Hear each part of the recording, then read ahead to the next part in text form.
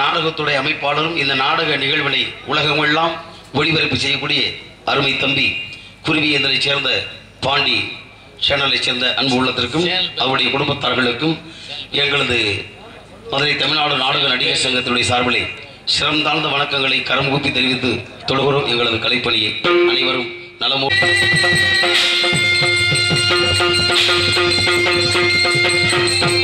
Thank you.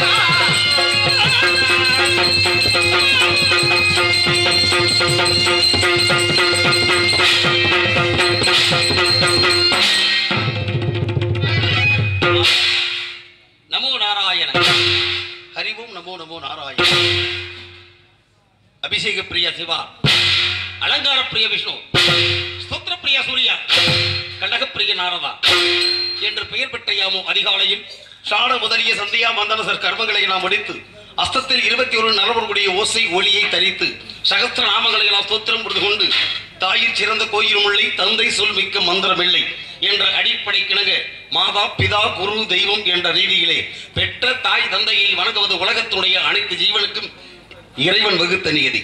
அந்த நியதிக்குட்பட்டு சத்தியலோகம் சென்று எனது தாயாகப்பட்டவள் ஆய கலைகள் அறுபத்து நான்களையும் ஏய உணர்வுக்கு எடுத்து காட்டியவள் எண்ணமை சரஸ்வதி. அப்பேற்பட்ட கலைவாணியை தொழுது ஆசி பெற்று படைப்புக்கு பொறுப்பு ஏற்றுக்கொண்டவன் என் தந்தை பிரம்மதேவன் அல்லவா? அன்னமனை ஆழத்திலே இனி ஆழத்திலே ஆழத்திலே இந்த காலத்திலே வரும் காலத்திலே அணு கூடத்திலே மூலத்திலே பிரம்மன் தான் இருந்து பாதை மூடுகின்றான் பிழப்பு எடுக்கின்றான். என்று சொல்லக்கூடிய எனது தந்தை பிரம்மதேவனை தரிசித்து ஆசி பெற்றேன். கைலாயம் சென்றேன். எனது மாமன் மாமியாகப்பட்ட பரமசிவன் பார்வதியை தொடுத்து ஆசை பெற்று பிறகு பார்க்கல சென்று எனது பாட்டன் ஸ்ரீமன் நாராயணனை தரிசித்தேன். காரணம் அருளாருக்கு அவ்வுலகம் இல்லை. பொருள் இல்லாருக்கு இவ்வுலகம் இல்லை அருளும் பொருளும் இல்லாதவருக்கு எவ்வுலகம் இல்லை என்ற ரீதியிலே அனைத்து உயிர்களுக்கும் சகல விதமான சிரமங்கள் கிடைக்க வேண்டும். என்ற ஒரு நல்ல எண்ணத்தினால எனது பாட்டிய திருமகள் மகாலட்சுமி தொழிலாக விட்டேன். இப்படி அலைமகள் மலைமகள் அழைக்கும் கடவுள் காக்கும் கடவுள் அழைக்கும் கடவுள் என்று சொல்லக்கூடிய முக்கடவுள் துறைக்கப்பட்டுவிட்ட இந்த நாரத மகரிஜிக்கு ஒரு நாளைக்கு ஒரு கழகம் செய்ய என்னுடைய சிறப்பாகப்பட்ட ஆயிரத்தி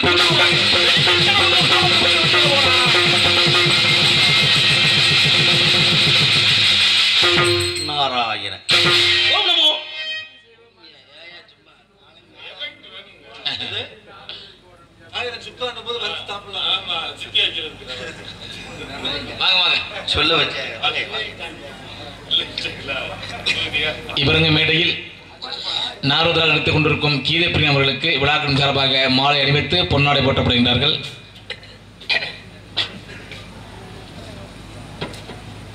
ஹார்மோனிய பாட்டில் மிகச் சிறப்பாக வாசித்து வரும் பாலச்சந்திரனுக்கு இளைஞர்கள் சார்பாக ஐநூறு ரூபாய் நன்கொடை நன்றி நன்றி. ஐநூறு ரூபாய் ஐநூத்தி ஒன்று அன்பு பெருமை சேர்த்த அன்பு ஐயாவளுக்கு எனது சர்வம் என்னை சேர்ந்த கலைக்கல் சர்வா நன்றி வணக்கம் வணக்கம். பூமாலை சூடி பொன்னாடை அணிவித்து கௌரவப்படுத்திய இந்த புண்ணியமான பூமியாம் நமது ஓடைப்பட்டி வாழ் கிராம பொதுமக்களுக்கும் இந்த நாடக விழாவினை ஸ்ரீ நொல்லி கருப்பர் சுவாமியினுடைய மாசி மாத மகா சிவராத்திரி விழாவை குலதெய்வமாக நினைத்து வழிபடக்கூடிய அனைத்து சமுதாய பொதுமக்களுக்கும். மேலும் இந்த நாடகத்தை கண்டு ரசிக்க வேண்டும் என்று வருகை தந்த சுற்று வட்டார நாடக கலா ரசிக்கும் பெருமக்களுக்கும் அருமை தாய்மார்களுக்கும் அன்பு மாணவ செல்வங்களுக்கும் கண்ணியமிக்க காவல்துறை நண்பர்கள் அவர்களுக்கும் இந்த நல்ல ஒரு நாடக நிகழ்வுக்கு அற்புதமான முறையிலே ஒளிபெருக்கி அமைத்து எங்களை மிகவும் மகிழ்ச்சி கடலில் ஆழ்த்திக் கொண்டக்கூடிய நமது ராஜா ஆடியன்ஸை சேர்ந்த அன்பு உள்ளங்களுக்கும் எஸ்எஸ் ராஜா எஸ்எஸ்ஆர் சுருக்கமாக சொல்லலாம். எஸ்எஸ்ஆர்னாலே அதில் பல அர்த்தங்கள் இருக்கும். ஏன்னா ஏன்னா தெரியல எஸ்எஸ்ஆர் தெரியுமா உங்களுக்கு? புரட்சி நடிகர். அது நம்மளுடைய பகுதியை சார்ந்தவர். அப்படி பார்க்கும் பொழுது அந்த எஸ் எஸ் ராஜா ஆடியன்ஸை சேர்ந்த அன்பு உள்ளங்களுக்கும் அதை பணிபுரியும் அருமை சகோதரர்களுக்கும் மேலும் இதோடு வாழ்க வளமுடன் வாழ்க வளமுடன் வாழ்க வளமுடன். நன்றி.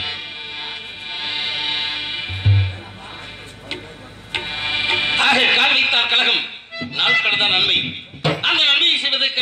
பொறுப்பேற்றுக் கொண்ட நல்லுதல் வேலைகளில் ஆய கலைகள் அறுபத்தி நாள்களையும் ஏ ஏ உணர்வுக்கு எடுத்து காட்டியவள் என் நம்மை சரஸ்வதி.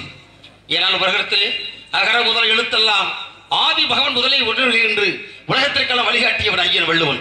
அந்த வள்ளுவனுடைய கூட்டை தான் இன்று அகில உலகமே போட்டுக் கொண்டிருக்கிறது என் தாயாகப்பட்டவள் அவளையாகப்பட்டவளை உலகத்தில் ஏற்கலாம் எத்தனை விதமான கானங்களோடு. இதோ அந்த தேவியை வழங்கி விட்டு கழகத்தை ஆரம்பிக்கலாம். அகர முதல் எழுத்தெல்லாம் அறிய வைத்தாய் தேவி. ஆதி பகவள் முதலென்று உணர வைத்தாய் தேவி. எழிலிசை நாடக தீபம் ஏற்றி வைத்தாய்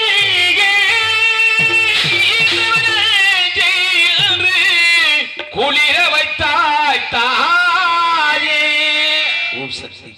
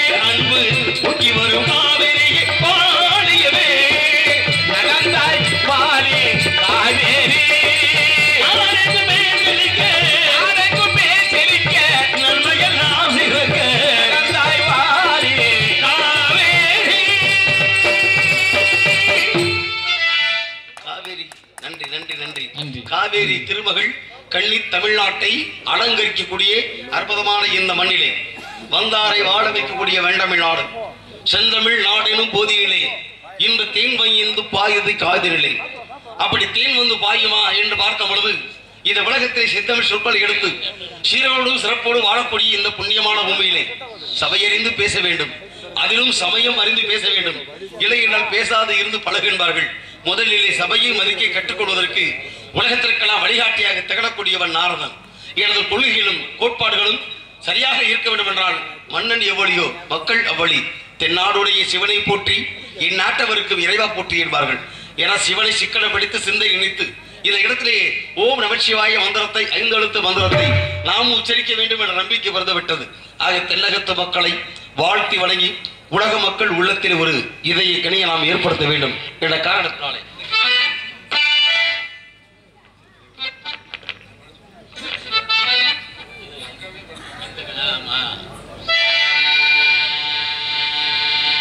இரண்டால் வரப்புயர நீர் உயரும். நீர் உயர நெல் உயரும். நெல் உயர கொடி உயரும். குடி உயர கோல் உயரும். கோல் உயர கோல் உயரும் என்பார்கள். அடியின் கால் வைத்த இடம் கதையின் அடிப்படையில் பார்க்கும் பொழுது ஒரு சர்வ சாதாரண சிற்றூராக இருக்கலாம். ஆனால் இந்த சிற்றூர் இருப்பது எங்கே என்றால் குறிஞ்சி நிலத்திலே. குறிஞ்சி நிலம் இருப்பது தொண்டை மண்டலத்திலே. தொண்டை மண்டலம் இருப்பது சோழ நாட்டிலே. ஒவ்வொரு நாட்டுக்கும் ஒரு தனிப்பெருமைகள் உண்டு. சேர நாடு வேலம் உடைத்தது. சோழ நாடு சோறு உடைத்தது. பாண்டிய நாடு முத்துழைத்து என்பார்கள். ஆனால் இந்த தொண்டை நாடு என்பது ஆண்டோர்களும் அறிவாளிகளும் ஆன்மீக பெரியோர்களும் குடியிருக்கக்கூடிய இந்த நன்னாடு. இந்த நாட்டிலே வாழக்கூடியதை பார்க்கும் பொழுது எனக்கு ரொம்ப ஒரு சந்தோஷமா இருக்கிறது. நம்ம நொண்டிகரப்பனுடைய வாசல்ல ஓடைப்பட்டி மண்ணில் இதுக்கு ஒரு மாபெரும் சரித்திரம் உண்டு. ஏன்னா சரித்திரத்தை சொல்வதற்கு சான்றோர்கள் பல உண்டு. யாமறிந்த மொழிகள். எத்தனை மொழிகள் இருக்கலாம். ஆனால் அத்தனை மொழிகளுக்கும் சிறப்பானது தமிழ் மொழி என்பார்கள். ஏன்னா பிறர் மொழியை அவன் குற்றம் சொல்லல. யாம் அறிந்த மொழிகளில் என்றான் பாரதி. அடுத்த மொழி குறை சொல்ல கிடையாது. எனக்கு என் வீடு பெருசு என் நாடு பெருசு என் மக்கள் பெருசு. அந்த ரீதியில் சொன்னா இந்த உலகத்துல வந்து என் மொழி சிறந்தது அப்படி மொழியை அடிப்படையாக பார்க்கும் பொழுதுதான் மக்கள் அந்த மக்களை பார்க்கும் பொழுதுதான் சமுதாயம் உருவாகிறது. அந்த சமுதாயத்துடைய கோட்பாடை நாம் பிரித்து பார்க்கும் பொழுதுதான் இப்படிப்பட்ட சாமி கும்பிடு வரலாறு ஏற்படுகிறது. அப்படி பார்க்கும் பொழுது நொண்டி கருப்பண சுவாமி இந்த ஓடிப்பட்டி மலை எத்தனை இடத்துல கருப்பண சாமி இருக்கான்ல? ஆனா ஏன் இந்த நொண்டி கருப்பண சாமிக்கு மட்டும் இவ்வளவு சிறப்பு? என்ன காரணம்? அப்படி கொஞ்சமாவது யோசிக்கணுமா இல்லையா? யோசிப்பவனே அறிவாடி ஏன்னா விவரம் தெரிஞ்சவன் யோசிக்க வைப்பேன். முடிஞ்சவன் முடிஞ்சவன் என்ன செய்வேன்? சாதிப்பேன். முடியாதவன் சில விஷயங்களை போதிப்பார். இப்போ ஒருத்தருக்கு ஒருத்தர் மல்யுத்தம் வருதுன்னா ஒருத்தர் "டேய், வாடா அடிச்சு போமா ஏடா நீலாம் ஒரு ஆளா? அப்படின்னு ஒருத்தர் ஒருத்தர் சண்டை உடனே வச்சுக்க முடிஞ்சவன் அடிச்சு மோதிச்சு பார்த்துருவேன் அதை சாதிச்சிருவேன். முடியாது என்ன தெரியுமா? உன்னை எப்படி வைக்கிறேன் வைக்கிறேன் பாருன்னு சொல்லி பேச்சில் அதை வில்லம்பு சுள்ளம்பு மேதி நீலி இரண்டு உண்டு. வில் அம்பில் சுல் அம்பு மேலதிகம் வாய் சொல்லி வீரன் சொல்றாங்க இல்லையா? அப்படி வாயில சொற்களாலேயே அன்று அடித்தான் ஈசனாகப்பட்ட சிவனை சொல்லால் அடித்தான் ஒருவன். யாரு நக்கிறேன்? வில்லால் அடித்தான் ஒருவன் யாரு? அர்ஜுனே கல்லால் அடித்தான் ஒருவன் யாரு? புகழார் நாயனார். இப்படி இத்தனை பேர் நாடிக்கிட்டே இருந்தாலும் கூட இந்த இடத்துல ஏண்டா இந்த கருப்பணசாமி நொண்டி கருப்பணசாமி வரணும்? அப்படின்னும் பொழுது அதனுடைய ஆதார ஜீவனை பார்க்கும் பொழுது நானும் அந்த வரலாற்றை படித்து மெய்மறந்து விட்டேன். காரணம் உலகத்திலே எத்தனை வரலாற்றுகளுக்கு எடுத்துக்காட்டாக திகழ்வது? ஏன்னா இன்றைய தேனி பகுதியில் இருக்கக்கூடிய இதே ஒடிப்பட்டி மண்ணும் அங்கும் இருக்கிறது. அங்கே இருக்கக்கூடிய மாபெரும் ஒரு விவசாயி. இந்த விவசாயி என்ன பண்ணாரு? தன்னுடைய வெளிநிலங்களில் விண்ண- வெள்ளாமை விளைஞ்சது பூரா அப்படியே மூட்டை மூட்டையை அடுக்கி கட்டிக்கிட்டு சந்தையில் கொண்டு விற்கணுமா இல்லையா? வாங்க தம்பி போகலாம். அப்படின்னு விருதுநகர் அந்த காலத்தை போட்டுக்க பாரு மணப்பாறை மாடு கட்டி பாட்டு வரும் பாருங்க. விருதுநகர் வியாபாரிக்கு செல்லக்கண்ணு வியாபாரத்தில் சிறந்தது இல்லையா? அப்படியே சந்தை வழி பயணமாக ஓட்டி வரும் பொழுது இடையிலே ஒரு நொண்டி கால் ஊனமுட்டவர் ஐயா அப்படின்னு வழி வைக்கிறார் வண்டியை. வண்டியை வழிமறிச்சு பார்த்தா இந்த நொண்டி பேலாகப்பட்ட வழி யாரை அணி? என்ன வருகிறார் ஐயா நான் ஒரு அனாதை. எனக்கு எந்த விதமான ஆதரவும் கிடையாது. எனக்கு தாய் யாரு தகப்பன் யாரு எதுவுமே தெரியல. ஏதோ பிறந்து விட்ட ஏதோ வளர்ந்து சொல்லி என்னை ஊனமானவங்க என்னை விட்டுட்டாங்க. ஏதோ கிடைச்சதை உண்டு வாழ்ந்துகிட்டு இருக்கேன் பசி பட்டினம் அறவர வகுத்தோட. என்னை எப்படியாவது காப்பாத்துங்க. என்ன உனக்கு என்னடா தெரியும்? நீயே நொண்டி பையன். உனக்கு என்னடா தெரியும்? அப்படின்னு அந்த செல்வந்தர் கேட்க ஐயா உங்க வீட்டு ஒரு பண்ணபாடிக்காவது இருந்து வேலை பார்த்துக்கிறனியா ஏதோ மாடு கிட்ட வைக்க மாட்டேனா? உள்ளெடுத்து போட மாட்டேனா? எப்படியாவது எனக்கு ஒரு வேலை கொடுங்கய்யா. என்று கெஞ்சி கேட்க அப்படியா சரி வா. ஏன்னா அவன் பண்ணையாராச்சே. நிறைய சுத்து பத்து இருக்கு ஆடு மாலா இருக்கு. சரி வந்து அவனும் மாட்டு போட்டத்துல வேலை வந்துட்டு போறான்டா அப்படின்னு சொல்லி கூட்டி வந்துட்டார். ஊட்டி வந்தவர் நாட்டுக்கோட்டத்து பக்கத்துலயே ஒரு சின்ன குடிசையை போட்டு இங்கேயே இங்கே தங்கிக்க மாடு கிட்ட பாத்துக்க பண்ணை வேலை பாத்துக்க விவசாயத்தை பாத்துக்க அப்படின்னு சொல்லி அவனுக்கு வேலையை கொடுத்துக்கிட்டே இருக்கிறாரு இவனு வேலையை பார்த்துக்கிட்டே இருக்கிறான். பாருங்களேன் ஒரு ஊனமற்ற இருந்தாலும் செய்ய முடியுமா? முடியும் என்பது நம்பிக்கை. ஏன்னா முடியும் என்பதுதான் நம்பிக்கை.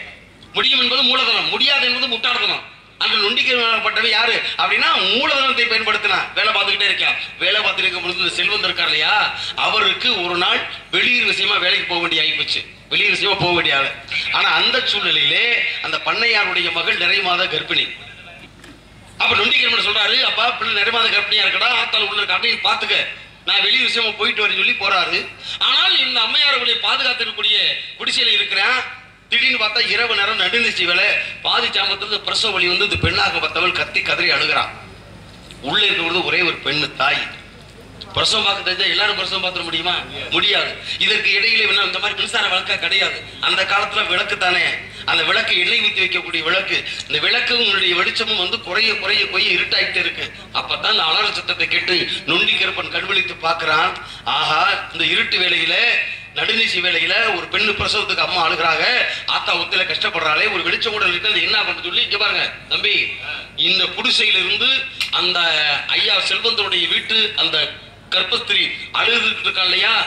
அந்த அறை வரைக்கும் இவனுடைய நாக்கு அப்படியே நீண்டுகிட்டே போகுது தூண்டுகுள் மாதிரி. சுடர் விளக்காயினும் தூண்டுகுள் தேவைனாலையா இவனுடைய நாக்கு நீண்டு போய் கொண்டு அந்த சுடர் விளக்கை தூண்டி கொண்டே இருக்கிறது. விடிய விடிய. அதிகாலை பிரம்ம முகூர்த்தத்துல போனவர் திரும்பி வந்தாரு.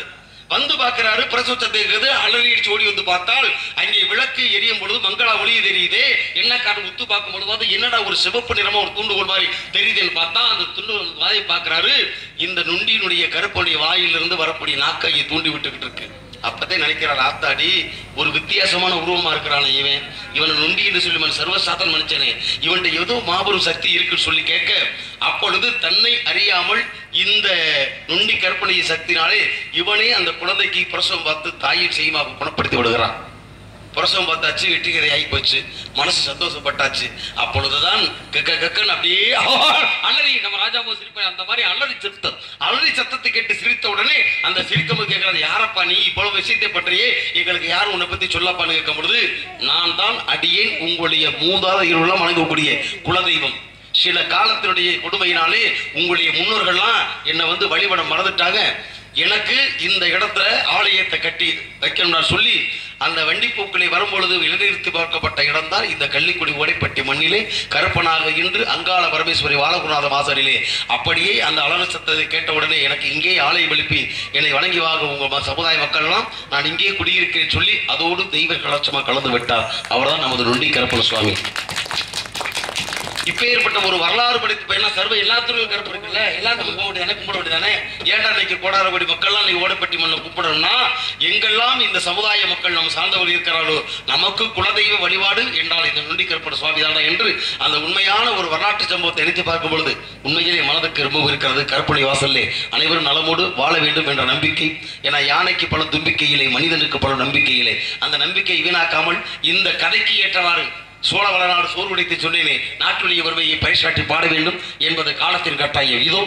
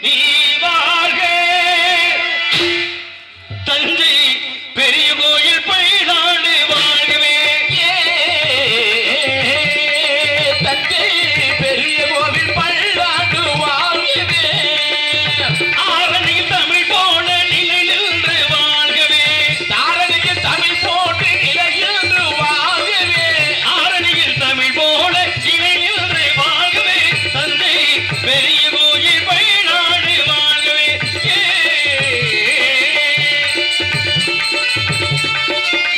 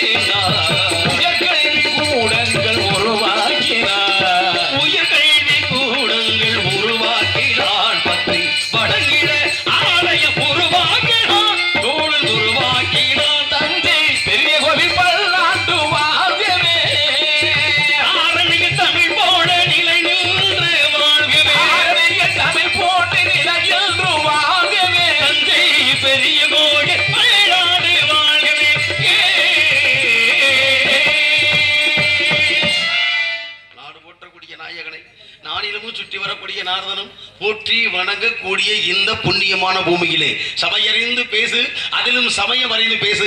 இல்லை என்றால் பேசாது இருந்து பழகின்றார்களே. சமயம் மதிக்க கற்றுக்கொள்வதற்கு உலகத்திற்கெல்லாம் வழிகாட்டியாக திகழக்கூடியவன் நாரதன் என்றால் எனது கொள்கைகளும் கோட்பாடுகளும் சரியாக நடப்பதற்கு இந்த இடத்திலே யாராவது இருப்பார்களா? அல்லது ஏதாவது சத்தம்? சபாஸ் என்ன சத்தம்? என்ன சத்தம் இந்த நேரம்? இருக்கட்டும் அதை பத்தி அது இருக்கட்டும். அழகான ஒரு சாரீர வளம். என்ன ஒரு இனிமையான சங்கநாதம் முழங்கி கொண்டிருக்கிறது. எத்தனை பழைய அற்புதமான ஆமையா? வர வர சங்கு மெருகேறிக்கிட்டே இருக்கியா? ஏன்னா புது சங்குனா புறப்புறம் சத்தம் கேட்கும் புழங்குன சங்குனாத்தை சுத்தமா இருக்கு நாதம். அப்படி அழகா வர வர என்ன ஒரு துணி என்ன ஒரு இனிமையான சாரீர வளம். ஏனென்றால் பார்ப்பதற்கு மயில் அழகாக இருக்கும். அழகாக இருக்கக்கூடிய மயில் தன்னுடைய தோகையை விரித்து அற்புதமான முறையில் நடனமாடும். ஆனால் ஆடக்கூடிய மயிலுக்கு பாடத் தெரியாது. பாத்தீங்களா? கொக்கர சருபதியா இருக்கும். என்னங்கிறியே ஆனா பார்ப்பதற்கு கடங்கரேன்னு முடுக்காண்டு இருக்கும் குயில் பாத்தீங்களா? குயிலுடைய குரல் ஓசை மிக இனிமையாக இருக்கிறது. அதான் குடல் இனிது யாழ் இனிது என்பது மக்கள். மழலை சொல்கிறாத நானே வள்ளுவன். என்ற வார்த்தை பயன்படுத்தி பார்க்கும் பொழுது இவளை மயிலாக இல்லை குயிலாத்தான் இருப்பாளா? குயிலா கூறா மயிலா ஆடுறா. எத்தனையோ விதமான ஆட்டம் பாட்டம் கொண்டாட்டம். இதுதான் உடைய வாழ்க்கையா? என்றால் இவர்களுக்காக ஏன்னா உறவுக்கு கை கொடுப்போம் உரிமைக்கு குரல் கொடுப்போம் என்று நாமும் இவளுக்கு ஒரு உறவை ஏற்படுத்துவோமா?